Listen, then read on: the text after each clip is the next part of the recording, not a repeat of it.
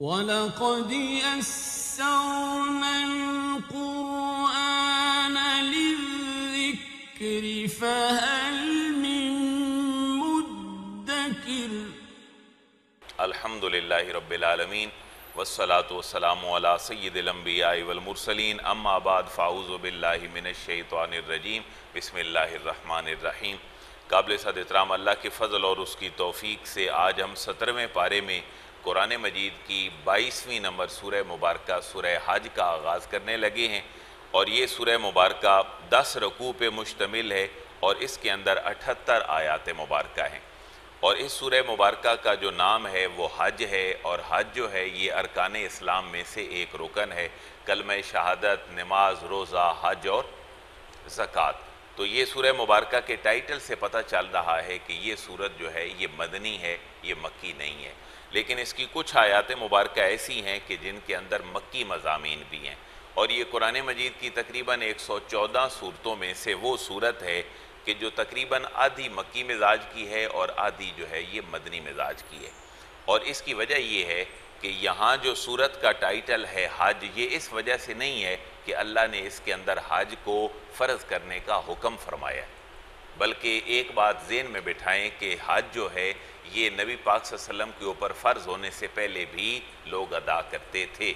اور طواف جو ہے خانہ کعبہ کا، یہ حضرت آدم علیہ السلام کے بعد سے لے کر کسی نہ کسی شکل میں جاری اور ساری رہا۔ حتیٰ کہ کافر اور مشرق بھی یہ حرم کا جو طواف ہے یہ کرتے تھے۔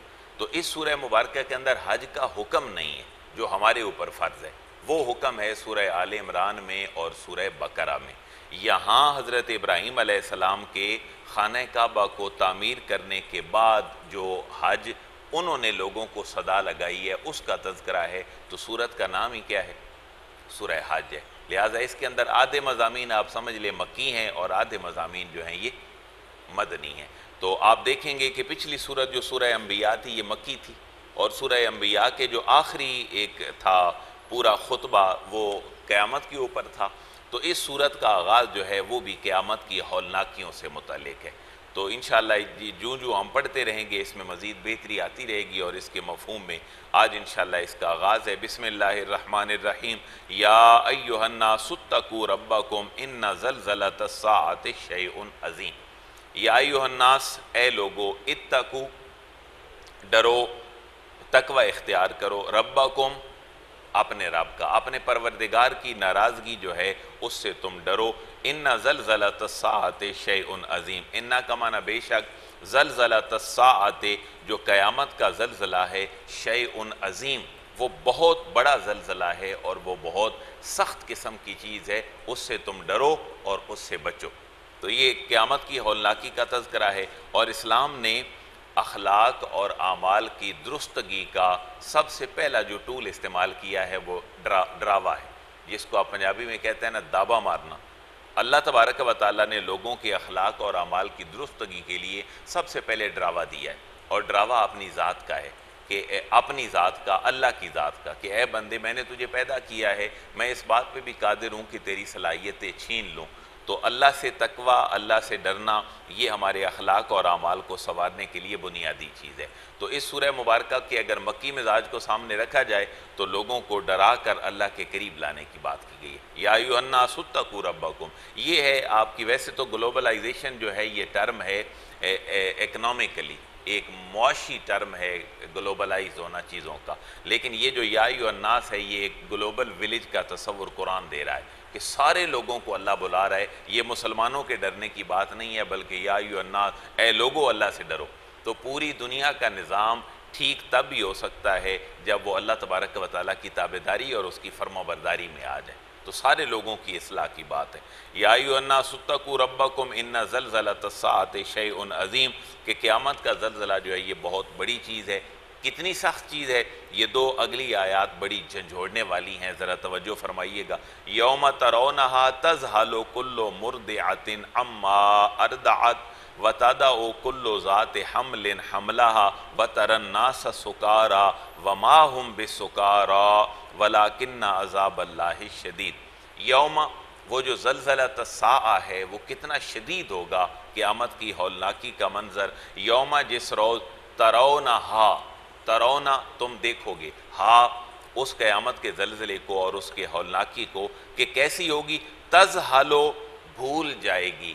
عربی میں ایک جملہ بولا جاتا ہے، میں بات کر رہا تھا، بات کرتے کرتے ظہول ہو گیا۔ یعنی بات کرتے کرتے بھول گیا۔ میں کسی اور خیال میں چلا گیا۔ اس کو عربی میں ظہول کہتے ہیں۔ تو وہ دن کیسا ہوگا؟ تز غافل ہو جائے گی۔ اس کے ذہن سے ہی نکل جائے گا۔ کلو مرد آتن کلو ہر مرد آتن دودھ پلانے والی۔ ہر دودھ پلانے والی غافل ہو جائے گی۔ اما اردات اپنے اس لخت جگر سے اردعت جس کو اس نے دودھ پلایا۔ یعنی ہم جملہ کیا بولتے ہیں کہ جیسے مائیں اپنے بچوں کو نہیں سنبھالتی کہ پریشانی کا عالم آ جائے، تو اللہ فرما رہا ہے، یہ جو قیامت کی ہولناکی ہے، یہ ایسے ہوگی کہ دودھ پلانے والی اپنے لخت جگر کو بھی بھول جائے گی۔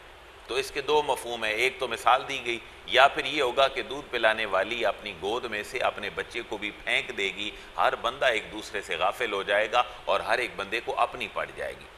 تز حالو کلو مردیاتن اما اردات، ایک بات تو دودھ پلانے والی بھی اپنے دودھ پیتے بچے لخت جگر کو پھینک دے گی۔ و تادا او کلو ذات حملن حملہا واؤ کمانا اور تادا او گرا دے گی۔ کلو ذات حملن، ہر حاملہ عورت حملہا اپنے حمل کو۔ قیامت کی ہولناکی اور اس کا زلزلہ اتنا شدید ہوگا کہ جو اللہ فرما رہے ہیں کہ عورت جو ہے حاملہ وہ اپنے حمل کو بھی گرا دے گی۔ وَتَرَ النَّاسَ سُكَارَا واؤ کا معنی اور ترا تجھے نظر آئیں گے، اے مخاطب الناس لوگ سکارا، وہ تو نشے کی حالت میں ہوں گے۔ لوگ تجھے ایسے نظر آئیں گے قیامت کی ہولناکی میں کہ گویا کہ انہوں نے نشہ کیا ہوا ہے۔ جیسے نشئی آدمی کو پتہ نہیں ہے، وہ گر رہا ہے، چل رہا ہے، اٹھا ہے، بیٹھا ہے، ایسے سینس لیس ہو جائے گا۔ لیکن اللہ نے فرمایا، کیا انہوں نے نشہ کیا ہوگا؟ نہیں۔ وما ہم بے سکارا۔ واؤ کا معنی اور ما ہم، وہ نہیں ہوں گے بے سکارا۔ نشے کی حالت میں، لیکن ولیکن عذاب اللہ شدید، لیکن جو اللہ کے عذاب کی سختی ہے، اس کی حیبت ناکی سے وہ حواس باختہ ہو جائیں گی انہیں احساس تک بھی نہیں ہوگا۔ تو یہ قیامت کی سب سے زیادہ جو محبت ہے، وہ ماں کو اپنے بچے سے ہوتی ہے۔ اس کو اپنے پیٹ میں موجود بچے سے اور اپنی گود میں موجود بچے سے۔ تو اللہ فرما رہا ہے، وہ تو، وہ بھی تم سے چھین لی جائے گی۔ لہٰذا اپنی ساری توجہ کا مرکز و محور جو ہے، وہ تو اللہ کی ذات کی طرف رکھو۔ ومن الناس من يجادل في الله بغیر علم ويتبع كل شیطان مرید۔ کوتبہ علیہ انہو من تولاہ فانہو یدلہ ویادیہ الى عذاب السعیر۔ اس آیت کے دو مخاطب ہیں۔ ایک تو سپیسیفک مخاطب ہے جس کے بارے میں یہ آیت نازل ہوئی تھی اور اس کا نام مفسرین نے لکھا ہے کہ ندر بن حارث تھا۔ اور ایک ہر وہ بندہ ہے جو قرآن کو پڑھتا ہے۔ خصوصاً اہل مکہ بھی ہیں۔ بات یہ تھی کہ قیامت کے منکر تھے اہل مکہ۔ تو ان میں سے ایک آدمی تھا جس کا نام تھا ندر بن حارث۔ تو نبی پاک صلی اللہ علیہ وسلم نے جب قرآن کا مفہوم لوگوں کے سامنے رکھا کہ مرنے کے بعد تم تو دوبارہ اٹھائے جاؤ گے، تم نے تو اللہ کو اپنے عمال کا جواب دینا ہے۔ تو وہ ایک دو دفعہ اس نے یہ کیا ندر بن حارث نے، کہ مردہ جانوروں کی اور مردہ انسانوں کی ہڈیاں اٹھا کر لوگوں کے مجمع میں گیا اور مزاحن ان کو کہنے لگا کہ یہ دیکھو، محمد ان ہڈیوں کے زندہ کرنے کی بات بھی کرتے ہیں۔ تو اللہ تبارک و تعالیٰ نے خاص طور پر ندر بن حارث کے بارے میں یہ آیت مبارکہ نازل فرمائی۔ وَمِنَ النَّاسِ واؤ کمانا اور مِنَ النَّاسِ لوگوں میں سے کچھ وہ ہیں، مَن يُجَادِلُ من کمانا جو یجادلو، جدال کرتے ہیں۔ جدال جو ہے، یہ گونسوں اور مکوں سے لڑنا نہیں ہوتا، یہ گفتگو کے اعتبار سے ایک دوسرے کے ساتھ جو ہے وہ لڑائی کرنی ہوتی ہے۔ مَن يُجَادِلُ جو جگڑتے ہیں، فی اللہ اللہ تعالیٰ کے بارے میں بغیر علم بغیر علم کے، علم ہے کوئی نہیں، جہالت سامنے ہے اور اس جہالت کو سامنے رکھ کر وہ لڑتے ہیں۔ وہ یتّا بیو کل شیطان مرید واہ کمانا اور یتّا بیو وہ پیروی کرتے ہیں۔ کل شیطان مرید کل، ہر ایک شیطان شیطان مرید سرکش۔ مرید جو ہے یہ عربی میں سرکش کے معنوں میں استعمال ہوتا ہے کہ بعض لوگ ایسے ہیں جو جگڑتے ہیں اللہ تعالیٰ کے بارے میں علم کے بغیر ویتہ بیوک اللہ شیطان مرید اور پیروی کرتے ہیں ہر سرکش شیطان کی۔ یہاں سے پتہ یہ چلتا ہے کہ جو ہماری بھی لڑائیاں جھگڑے ہیں، ان کی دو وجوہات ہوتی ہیں۔ پہلی وجہ کیا بیان کی قرآن نے؟ جو جھگڑتے ہیں اللہ تعالیٰ کے بارے میں بغیر علم بغیر علم۔ ہماری بھی بعض اوقات جو ایک مس انڈرسٹینڈنگز ہوتی ہیں، اس کی وجہ کیا ہوتی ہے؟ علم نہیں ہوتا۔ گھر کے جھگڑے بھی اسی وجہ سے ہوتے ہیں۔ بات ہم ایک دوسرے کی فالو نہیں کر رہے ہوتے۔ وَمِنَ النَّاسِ مَنْ يُجَادِلُ فِي اللَّهِ بِغَيْرِ علم۔ واؤ کا معنی اور من الناس اور لوگوں میں سے کچھ وہ ہیں میں یجادلو جو جھگڑتے ہیں فی اللہ اللہ تعالیٰ کے بارے میں بغیر علم بغیر علم کے ویتبعو اور وہ پیروی کرتے ہیں۔ کل شیطان مرید ہر سر کا شیطان کی۔ یعنی انسان کے جھگڑوں کے پیچھے یا تو جہالت ہوتی ہے یا وہ شیطان کی پیروی کر رہا ہوتا ہے۔ نبی پاک صلی اللہ علیہ وسلم نے دونوں کا حل فرما دیا کہ جس چیز کا علم نہ ہو، اس بات کو جو ہے وہ اس کی تحقیق کر لو۔ اور دوسرا یہ ہے کہ جب تمہیں غصہ آئے تو تو اپنی حالت تبدیل کر لو۔ اگر کھڑے ہو تو بیٹھ جاؤ، بیٹھے ہو تو لیٹ جاؤ اور وضو کر لو۔ اعوذ باللہ من الشیطان الرجیم، پڑھ لو تو تمہارا یہ جھگڑا ختم ہو جائے گا۔ اب کچھ لوگ اس کی باتوں میں آ گئے۔ نام اس کا کیا تھا؟ ندر بن حارث۔ تو اس کے لیے کہا گیا، کوتبہ علیہ، اس بے وقوف کے مقدر میں لکھا جا چکا ہے، انہو من طول جو اس کو دوست بنائے گا، تو فانہو یدلہو، وہ اسے گمراہ کر کے رہے گا۔ تو ندر بن عارض کی جو بات مانے گا، وہ اس کو بھی گمراہ کرے گا۔ وَيَهْدِيهِ إِلَىٰ عَذَابِ السَّعِيدِ یہاں پر جو ہدایت ہے، یہ اپنے ان معنی میں نہیں ہے جو معنی ہدایت کے ہم لیتے ہیں۔ اللہ ہمیں ہدایت عطا فرما۔ ہدایت کا معنی راستہ دکھانا۔ تو راستہ دکھانے کے لیے دو راستے ہیں، ایک شیطان کا راستہ اور دوسرا رحمان کا راستہ ہے۔ یہاں جو راہ دکھانے کی بات ہے، وہ ایک دو زک کے عذاب کا راستہ جو ہے، وہ دکھایا جا رہا ہے۔ وہ عادی ہے اور یہ جو ہے، ندر بن حارث جو ہے، اس کے مقدر میں لکھا جا چکا ہے، جو اس کو دوست بنائے گا تو وہ اسے گمراہ کر کے رہے گا۔ وہ ہے اور یہ راہ دکھائے گا اسے الا عذاب السعیر۔ بڑکتی ہوئی آگ جو ہے اس کے عذاب کی طرف یہ اس کی رہنمائی کرے گا، جو جو اس کی سنگت اختیار کرے گا۔ اب جو قیامت کی ہولناکی ہے اور قیامت کے دن اللہ تبارک و تعالی بندوں کو زندہ کرے گا اور دوبارہ اللہ کی حضور وہ اپنے جو ہے وہ اعمال کا جواب دیں گے، اس کے اوپر اللہ نے انسانی زندگی کے سٹیپ گنوائے ہیں کہ تم مرنے کے بعد کی زندگی کو مشکل سمجھتے ہو، ذرا اپنی بنیادی تخلیق پہ غور کرو۔ بڑی مزے والی آیت ہے۔ مجھے اور آپ کو اپنی پیدائش سے لے کر جوانی، مرنا، بڑھاپا، قبر اور ساری چیزیں اللہ نے صرف چھ لائنوں میں گنوا دی ہیں۔ یا ایوہ الناس، ان کن تم فی ریب من الباس۔ یا ایوہ الناس، اے لوگو، ان کن تم ان اگر کن تم تم ہو فی ریب، شک میں، اگر تمہیں شک ہے من الباس سے اٹھنے میں دوبارہ، جیسے نبی پاک صلی اللہ علیہ وسلم کی بے ست ہے، آپ تشریف لائے۔ من الباس روز معاشر، اگر جی اٹھنے میں تمہیں کوئی شک ہے، تو ذرا غور کرو اپنی بنیاد پہ۔ فَإِنَّا خَلَقْنَاكُم مِّن تُرَاب۔ فا کمانا پس اِنَّا، بے شک ہم نے خَلَقْنَاكُم۔ ہم نے تمہیں جو ہے وہ پیدا کیا ہے من تراب مٹی سے۔ اب یہ جو ہے انسان مٹی سے بنا ہے، یہ اس کی ابتدا ہے۔ جس سے اللہ نے انسان کو بنایا ہے۔ لیکن عام صورتحال یہ ہے کہ انسان جو ہے وہ مادہ منویہ سے جو ہے وہ پیدا ہوتا ہے۔ لیکن اس مٹی کی طرف نسبت کیوں کی گئی؟ ایک وجہ تو یہ ہے کہ انسان بنا مٹی سے ہے۔ کیا وہ مٹی ایسی ہے جو مٹی گارا اور لے کر اسی کیفیت میں آگے چلی ہے؟ ایک اس کا مفہوم یہ ہے کہ انسان کا پنپنا اور انسان کا بڑا ہونا اور انسان کو غذا کا ملنا ان چیزوں کی وجہ سے ہے جو نکلتی ہی کس سے ہیں؟ مٹی سے ہیں۔ انسان زندہ نہیں رہ سکتا جب تک وہ مٹی سے نکلی ہوئی چیزوں کو استعمال نہ کرے۔ وہ گندم کھاتا ہے، کہاں سے نکلی ہے؟ مٹی سے پانی پیتا ہے، کہاں سے نکلی ہے؟ مٹ ہر چیز انسان کی بقا کا جو سبب ہے، وہ مٹی سے نکلی ہے۔ تو اللہ نے انسان کی جو تخلیق کی ابتدا ہے، اس کی نسبتی مٹی کی طرف کر دی ہے۔ اے انسانوں، اگر تمہیں کوئی شک ہو روز معاشر جی اٹھنے میں، تو ذرا اس عمر میں غور کرو کہ ہم نے تمہیں پیدا کیا تھا من ترابن۔ مٹی سے۔ سوما من نطفتن سوما پھر من نطفتن پھر نطفہ سے تمہیں پیدا کیا۔ یعنی باپ اور ماں کے نطفے سے ایک سبب بنا اور تم دنیا میں آ گئے۔ یعنی یہ سارا پروسیجر اللہ کیوں بتلا رہا ہے کہ تم مرنے کے بعد اٹھنے پہ جو ہے وہ تمہیں شک ہے، لیکن اپنی ابتدا جو ہے تخلیق کی، اس کے اوپر ذرا غور کرو کہ وہ بھی تو بڑی مشکل تھی جس کے بعد تمہیں جو ہے وہ پیدا کیا گیا۔ سما من نطفتن پھر نطفہ سے جو ہے وہ تمہیں پیدا کیا گیا۔ سما من علاقتن علاقہ کہتے ہیں نطفہ کے بعد کی جو شکل ہے، جس کو ہم لوتھڑا کہتے ہیں خون کا۔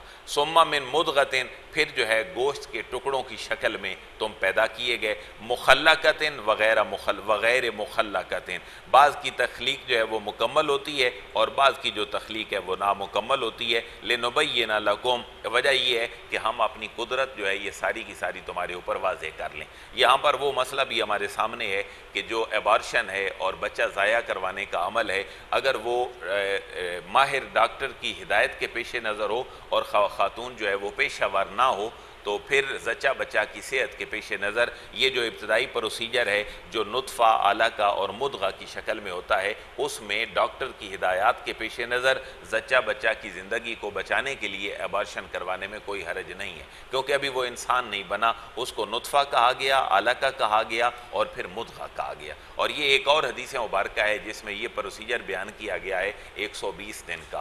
کہ ایک سو بیس دن تک ابھی انسان ماں کے پیٹ میں نہیں بنتا۔ ایک سو بیس دن کے بعد اس کے اندر روح پھونکی جاتی ہے اور اس کا نیک بخت ہونا اور بدبخت ہونا لکھا جاتا ہے۔ تو جدید میڈیکل سائنس کے مسائل میں جو اسلام کی رہنمائی ہے وہ یہ ہے کہ ایک سو بیس دن سے پہلے پہلے ماہر ڈاکٹر کے مشورہ سے اگر زچہ بچہ کی صحت کو خطرہ ہو، پہلے بچہ پیدا ہوا، ابھی وہ اتنا کمزور ہے یا عورت کمزور ہے، وہ پریگننسی کو اویل نہیں کر سکتی، تو پھر ایبارشن وغیرہ جو ہے اس میں کوئی حرج نہیں ہے۔ وَنُقِرُّ فِي الْأَرْحَامِ، یہ تو ہے کہ انسان کی ابتدا، کہ انسان پہلے کیا تھا؟ نطفہ تھا علقہ تھا، مدغہ تھا، اس کے بعد وہ ماں کے پیٹ میں کیسے رہا؟ وَنُقِرُّ فِي الْأَرْحَامِ واؤ کمانا اور، نُقِرُّ ہم قرار بخشتے ہیں، فِي الْأَرْحَامِ، رحم کی جمع ہے۔ ہم ماں کا جو رحم ہوتا ہے، ارحام ہوتے ہیں، ہم ان میں قرار بخشتے ہیں انسان کو۔ ما نشاء، جتنا ہم چاہتے ہیں، الى اجل مسمى ایک مقررہ مدت تک۔ یہاں بھی اللہ فرما رہا ہے کہ مرضی کس کی چلتی ہے؟ اللہ کی چلتی ہے۔ تو اللہ فرما رہا ہے مرنے کے بعد تم دوبارہ کیوں نہیں اٹھ سکتے ہو؟ ثم نخرجوکم طفلا۔ ثم پھر نخرجوکم ہم نکالتے ہیں تمہیں طفلا۔ تم بچے ہوتے ہو، طفل عربی میں بچے کو کہتے ہیں، تم ہم جب نکالتے ہیں تمہیں تو بچہ بنا کر سما لتبلغو اشدکم سما پھر لتبلغو ہم تجھے پہنچاتے ہیں۔ بالغ یبلغو کمانا ہوتا ہے پہنچنا۔ تو سما لتبلغو پھر ہم تمہیں پہنچاتے ہیں اشدکم۔ تمہاری بڑی شدت والی عمر کو تم کڑی الجوان بن جاتے ہو۔ وہ من کو میں یوتوفا واؤ کمانا اور من کم بعض تم میں سے وہ ہوتے ہیں میں یوتوفا جو اپنی جوانی کے بعد اور بڑھاپے میں جانے سے پہلے ہی جو ہے وہ فوت ہو جاتے ہیں۔ وہ من کو میں یورد الا ارض العمر، واؤ کمانا اور مین کم تم میں سے بعض وہ ہوتے ہیں میں یوردو جن کو لوٹا دیا جاتا ہے، پہنچا دیا جاتا ہے الا ارض العمر نکمی عمر تک۔ ارزل جو ہے، اسی سے نکلا ہے رزیل۔ اور رزیل ہوتا ہے بڑا نیچے آ جانا۔ جیسے ایک اور معنی میں استعمال ہوتا ہے، جیسے انتہائی نچلی سطح پر، اخلاقی طور پر آ جانے کو کمینگی کہتے ہیں۔ اس کو عربی میں رزیل کہتے ہیں۔ یعنی انسان اپنے اخلاق کے اعتبار سے بہت نیچے آ جاتا ہے۔ یہاں بھی رزیل جو ہے، یہ اس معنی میں تو نہیں ہے کہ انسان کمینگی پہ اتر آئے، لیکن اپنی صلاحیتوں کے اعتبار سے وہ بہت نیچے آ جاتا ہے، جس کا ترجمہ کیا گیا، وہ ایک نکمی عمر تک آ جاتا ہے۔ وہ نکمی عمر کیا ہے؟ اب انسان کسی کام کا نہیں رہا۔ انتہائی بڑھاپے میں چلا گیا، کسی کام کا نہیں رہا، حتیٰ کہ اپنے کام کا بھی کوئی نہیں رہا۔ نہ اس کا خود کو فائدہ ہے، نہ اس کا دنیا کو فائدہ ہے۔ یہ بھی اللہ بتلا رہا ہے کہ اس کے پیچھے بھی مرضی کس کی چلنی ہے؟ میری چلنی ہے۔ لِكَيْ لَا يَعْلَمَ مِن بَعْدِ عِلْمٍ شَيْعَ اور انسان کتنی نکمی عمر تک اس کو لوٹا دیا جاتا ہے۔ لِكَيْ لَا يَعْلَمَ تاکہ وہ کچھ نہ جانے۔ مِن بَعْدِ عِلْمٍ، علم کے بعد بھی شَيْعَ کسی چیز کو۔ یعنی ایک وقت وہ تھا کہ اپنے دور کا وہ ارستو تھا۔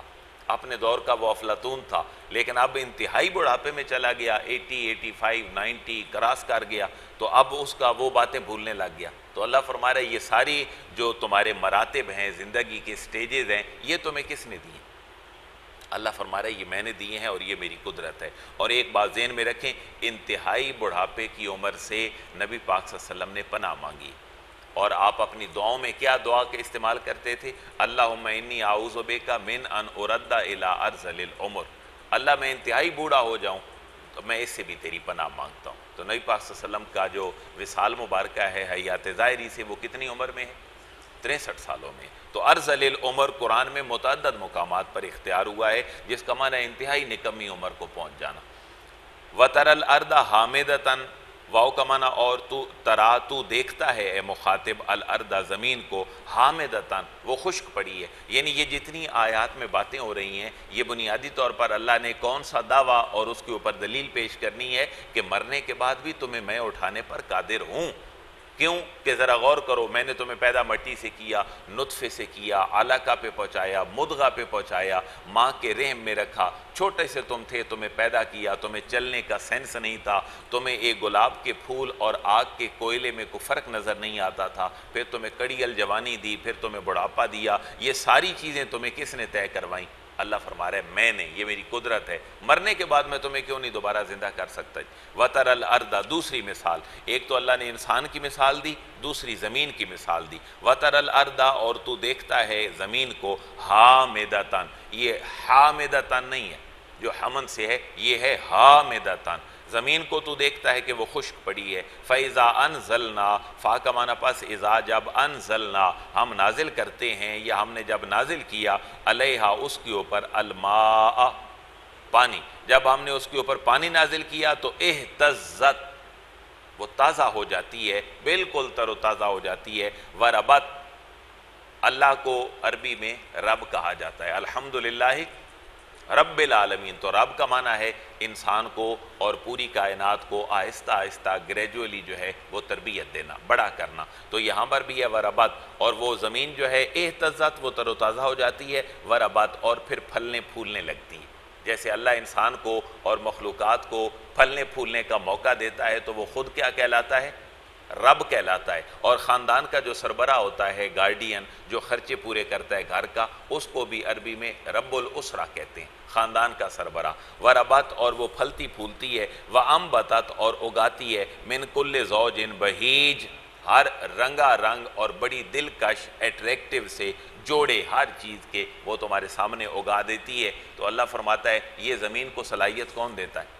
میں، اللہ فرماتا ہے میں، تو پھر میں تمہیں مرنے کے بعد دوبارہ کیوں نہیں اٹھا سکتا؟ یہ اگلی آیت میں اللہ نے بات واضح فرما دی ذَالِكَ بِأَنَّ اللَّهَ هُوَ الْحَقِّ یہ سارا کچھ اس لیے ہوتا ہے بِأَنَّ اللَّهَ هُوَ الْحَقِّ کہ اللہ تبارک و تعالیٰ کیا ہے؟ حق ہے، اور برحق ہے، اس کا ہر حکم جو ہے یہ بڑا برحق ہے۔ وَأَنَّهُ يُحْيِ جو مردوں کو زندہ کرتا ہے، وَأَنَّهُ عَلَىٰ كُلِّ شَيْءٍ قَدِيرٍ، اور وہ بلا شبہ ہر چیز پر قادر ہے۔ یہ اگلی آیت کو ہم پورا کریں گے تو ہماری گفتگو پوری ہوگی، کیونکہ قدیر ان کے بعد کیا لکھا ہوا ہے آیت کے اوپر؟ لام الف لا۔ تو لام الف لا کا معنی کیا ہوتا ہے؟ کہ یہاں آپ وقف نہ کریں۔ لا کا معنی عربی میں کیا ہوتا ہے؟ نہیں، یہاں ابھی وقف نہ کریں، آپ اپنی بات کو آگے چلائیں، کیونکہ ابھی آپ کی بات پوری نہیں ہوئی ہے۔ وَأَنَّهُ عَلَىٰ كُلِّ شَيْءٍ قَدِيرٍ اور بلا شبہ وہ ہر چیز پر قادر ہے۔ وَأَنَّ السَّاعَةَ آتِيَةٌ لَا رَيْبَ فِيهَا۔ واو کا معنی اور، انا کا معنی بے شک السَّاعَ ساعہ عربی میں گھڑی کو بھی کہتے ہیں، سیکنڈ کو بھی کہتے ہیں۔ اور یہ جو گھڑی ہے آپ کی ہاتھ میں پہنے، اس کو انگریزی میں واچ کہتے ہیں۔ ویسے اس کو بھی ساعہ بھی کہا جاتا ہے ایک معنی میں۔ تو ساعہ بنیادی طور پر سیکنڈ کو کہتے ہیں۔ تو قیامت جب آنی ہے تو کتنی دیر لگنی ہے؟ وہ یک لخت آئے گی دفعتن آئے گی، وہ تو انسان کو سوچنے کا موقع بھی نہیں ملے گا۔ اس لیے اس کو بھی کیا کہا گیا؟ قیامت کو سا سیکنڈ، گھڑیاں بالکل چند لمحے۔ وَأَنَّ سَاعَةَ اور یقیناً جو سا ہے یعنی قیامت ہے، وہ آنے والی ہے۔ لا ریب فیہا۔ اس میں کوئی شک نہیں ہے۔ دیکھیں نا، لاریب کا معنی کیا ہے؟ کوئی شک نہیں ہے۔ اور آج کل رواج ہے، ہم اپنی بچیوں کے نام بھی لاریب رکھتے ہیں۔ تو لاریب نام نہیں ہے۔ لاریب نام نہیں ہے۔ لہذا نام اگر انسان کا رکھنا ہے، تو وہ نام کی طرح نون رکھا جائے، کو لاریب نہ رکھا جائے۔ اسی طرح اور بہت سارے نام ہیں جو بڑے اوٹ پٹانگ سے ہیں۔ ہم اپنے، اس کی وجہ ایک تو جہالت ہے اور ایک ایک ایک ذہن میں یہ خیال ہونا ہے کہ میرے بیٹے اور بیٹی کا نام وہ ہو جو کسی کا بھی نہ ہو۔ تو جو منہ میں آیا وہ نام رکھ لیا تو لا ریب نام نہیں ہے۔ لا کا معنی کیا ہے؟ نہیں، ریب کا معنی شک۔ لا ریب کوئی شک نہیں۔ تو ہم کسی کا نام رکھ لیں وہ کوئی شک نہیں۔ تو یہ نام تو نہیں ہے۔ تو عربی میں تھا لاریب تو رکھ دیا گیا۔ لاریب ایسی بات نہیں ہے۔ یہ ناؤن نہیں ہے۔ ناؤن ناؤن ہوتا ہے جو اسم ہوتا ہے اور نام ہوتا ہے۔ لاریب فیہ اس میں کوئی شک نہیں ہے۔ وَأَنَّ اللَّهَ يَبْعَسُ مَنْ فِي الْقُبُورِ۔ یہ ساری لمبی مثال دے کر سات لائنوں میں اللہ نے اپنا مدعا بیان فرما دیا۔ آخری، وَأَنَّ اللَّهَ، اور اللہ تعالیٰ ہی ہے بے شک يَبْعَسُ اٹھائے گا من فی القبور ان مردوں کو جو کہاں ہیں؟ قبروں کے اندر ہے تو اللہ نے اپنے دعوے کے اوپر کتنی دلیل رکھی، انسان کی حقیقت گنوا دی اور اس کے پورے زمینی حقائق جو ہیں ان کو بھی گنوا دیا۔ اے انسان، میں تجھے بھی زندہ کروں گا جیسے میں زمین کو زندہ کرتا ہوں۔ تو دیکھیں کتنی گرمی ہوتی ہے، شدت والی۔ اور جب بارش آتی ہے تو ماحول کیسے ہو جاتا ہے؟ یہ اللہ نے دلیل دی ہے، میں تمہاری زندگی میں بھی ایسا ماحول لاتا ہوں۔ تم کچھ بھی نہیں تھے، تمہیں جوان بنا دیا۔ جوانی کے بعد بڑھاپا، پھر اتار چڑھاؤ انسانی زندگی میں آتے رہتے ہیں۔ تو یہ سات آیات مبارکہ ہوئی ہیں۔ سورت کا نام کیا جی؟ سورہ حج۔ اور یہ سورت کا نام جو حج ہونا ہے، یہ نبی پاک وسلم کی زبان مبارک سے بھی نکلا ہے۔ اس سورت کا نام حج ہے۔ چاند ہمیں احادیث مبارکہ ملتی ہیں، جس میں نبی پاک صلی اللہ علیہ وسلم نے خود فرمایا ہے کہ وہ جو آیت مبارکہ ہے، وہ سورہ ہے اور فلاں سورہ حج کے اندر ہے۔ اللہ تبارک و تعالی ہمیں قرآن کے نور سے اپنے قلوب و اذان کو منور کرنے کی توفیق نصیب فرمائے۔ وما علیہ اللہ البلا